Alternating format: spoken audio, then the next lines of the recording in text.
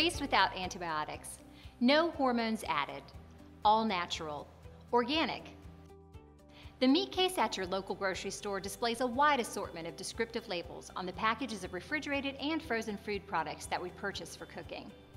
For some shoppers, the terms on the labels are confusing. Others may hardly notice or take the time to read them.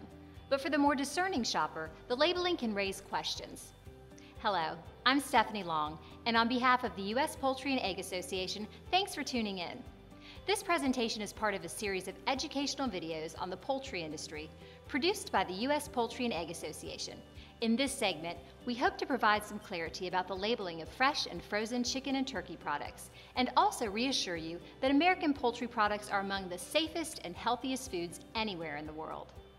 Product packaging contains a wealth of information, from government-required information such as ingredients and nutritional content, to voluntary information designed to help consumers choose products that offer attributes important to them. The U.S. Department of Agriculture regulates product labeling for chicken and turkey products. USDA reviews labels to be sure the information is accurate and not misleading to consumers. A familiar label in the meat counter uses the term raised without hormones, or no hormones added. It should be noted that no artificial or added hormones are used in the production of any American poultry product. This is a requirement overseen by the U.S. Food and Drug Administration.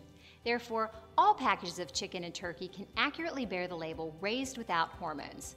However, if a product displays this label, it must also state that federal regulations prohibit the use of hormones. Thank you for watching this video and taking time to better understand the labeling of food products that you purchase.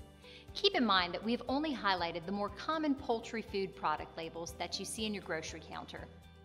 Frankly, all the labeling and terminology can be a bit overwhelming, but rest assured that the poultry industry will continue to do its part to ensure that the turkey and chicken products that you enjoy are the safest, healthiest, and most nutritious for your family. If you would like to know more, simply contact the U.S. Poultry and Egg Association or view our website at www.uspoultry.org.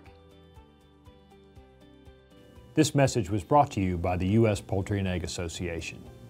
Funding for this video was provided by the International Poultry Expo.